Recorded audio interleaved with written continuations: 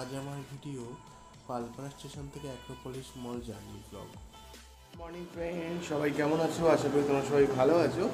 তো এখন আমি বাড়ি থেকে বেরোচ্ছি। এই যে আমার মা দেখতেই পাচ্ছ, এই যে আমসত্ত্ব বসেছে। এই আমসত্ত্বটা খুব সুন্দর উঠেছে। তো দেখাও এটা একদম খালাস আমার উঠেছে কত সুন্দর। আর ওগুলো উঠছে না, চিটকি চিটকি টাইপের হয়ে গেছে। তো যাই হোক, সারা বছর ধরে খাওয়া হবে, দুধে দিয়ে খাওয়া হবে আমসত্ত্ব। একবারে বানানো হয়ে গেছে। আর সকালে গাছ থেকে আম পেয়েছিলাম। এই যে। এই যে গাছের আমগুলো এগুলো একটু আগেই পেরেছি আমি। তো কটা আম নিয়ে নিলাম আমার ম্যানেজারের জন্য। আর চলো, দেখা হচ্ছে। আজকেও যাব অ্যাক্রোপলিস তোমাদের সঙ্গে শেয়ার করছি। সবার মোবাইলে কিন্তু ডিজাস্টার ম্যানেজমেন্টের তরফ থেকে একটা এস এম এস এসছে যে আগামী আরও দুদিন মানে আজকে তিন তারিখ, চার তারিখ, পাঁচ তারিখ অবধি প্রচণ্ড তাপপ্রবাহ হবে। এবং সবাইকে বলেছে বাড়িতে থাকার জন্য। তো আমরা তো আর বাড়ি থাকতে পারব না, আমাদের কাজে যেতেই হবে। তো বেরিয়ে গেছি প্রত্যেক দিনের ন্যায় কাজ করতে। অফিসে যাচ্ছি রেডি হয়ে গেছি। তো এই মুহূর্তে আমি রয়েছি পালপাড়া স্টেশনে। তো পালপাড়া স্টেশন থেকে এখন ট্রেন আসবে কৃষ্ণনগর লোকাল কিছুক্ষণের মধ্যেই ঢুকবে। তো ট্রেনে উঠবো, আজকে সবার জন্য মিষ্টি কিনে নিয়েছি। ট্রেনের সব দাদাদের খাওয়াবো, যেহেতু আমার ছেলে হয়েছে ওই জন্য। ট্রেন কিন্তু এসে গেছে কৃষ্ণনগর লোকাল আরে ভাই! এখনই শুটিং শুরু করেছি কোথায় কোথায়? কোথায় হবে? কি বলছো বলো? কি হলো? তুমি পঞ্চাশ টাকার লোক দেন।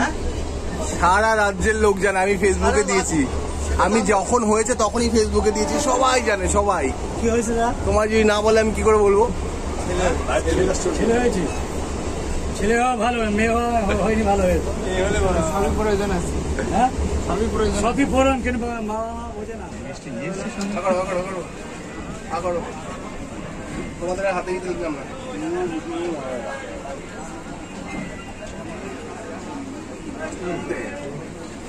মুখ দে। এইটা হচ্ছে লেটেস্ট।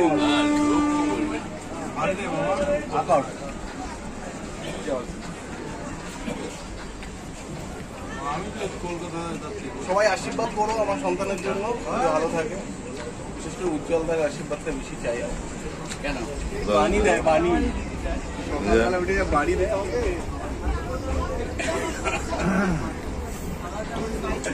Stop কর।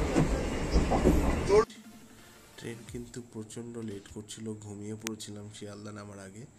তো ঘুমটা ভাঙলো, তারপর শিয়ালদা নামলাম। গেল ট্রেনটা শিয়ালদা স্টেশনে। তো এই মুহূর্তে আছে, আমি শিয়ালদা স্টেশন।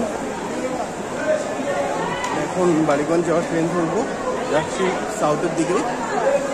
তো বাড়িগঞ্জ থেকে আমি যাব অ্যাক্রোপলিস মল তো চলো বন্ধুরা, দেখতে থাকো আজকে ব্লগটা একটা চোদ্দোতে এই বজবজ লোকালটা থাকবে তো এই মুহূর্তে আমি লোকাল উপরে বসে আছি। ট্রেনটা পাইনি এক বারোটা পঞ্চাশের ট্রেনটা বেরিয়ে গেছে।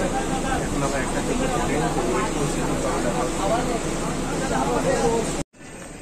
তো তো ফ্রেন্ড চলে আসলাম বালিগঞ্জে। বালিগঞ্জ স্টেশনে জাস্ট নেমেছি। এখন এখান থেকে অটো ধরবো। জীবন সেতুর ওপর থেকে। অ্যাক্রোপলিসের সামনে দেখতেই পাচ্ছ অ্যাক্রোপলিসের সামনে, আজকে প্রচণ্ড গরম। এখন ঢুকবো ভেতরে। ও বাবা, শান্তি পেলাম। একটু অ্যাক্রোপলিসে ঢুকে। মানে ঢুকে একটু শান্তি পাচ্ছি। এই হচ্ছে অ্যাক্রোপলিস মলটা তো চলো এবার ভিজিটে যাই।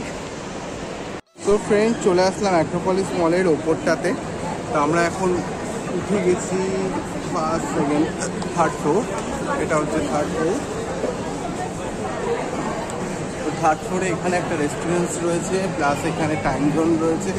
আর এখান থেকে কিন্তু পুরো স্পষ্ট মলটা কিন্তু দেখতে পাচ্ছি।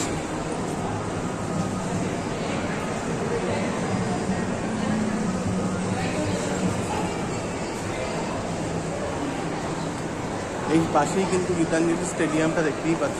মানে স্টেডিয়ামটা থার্ড ফ্লোরের উপরে। এটা কেএফসির এই জায়গাটা, এই প্লেসটা এখানে বসা, বসে খাওয়ার।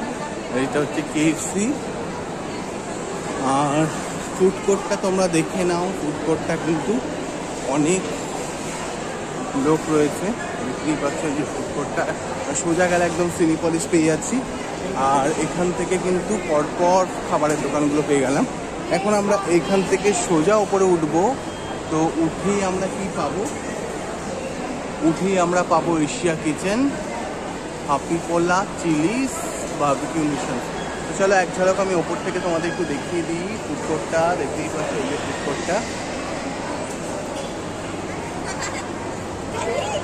তালি ওই যে চিলিস কফি পোলা, আর এখানে কিন্তু বারবিকিউ নেশনস ট্রেন বেরিয়ে যাচ্ছে এখন অ্যাক্রোপলিস থেকে অলমোস্ট নটা দশ বাজে। তো এখন অ্যাক্রোপলিস থেকে বেরিয়ে এখন ডাইরেক্ট আমি যাব বালিগঞ্জ স্টেশন বালিগঞ্জ স্টেশন থেকে শিয়ালদা শিয়ালদা থেকে পাঠান তো চলো বন্ধুরা, আজকের মতো ব্লগটা এখানেই শেষ করলাম। সবাই খুব ভালো থেকো, সুস্থ থেকো। এই বলেই আজকে আমার ব্লগটা শেষ করি বাই গুড নাইট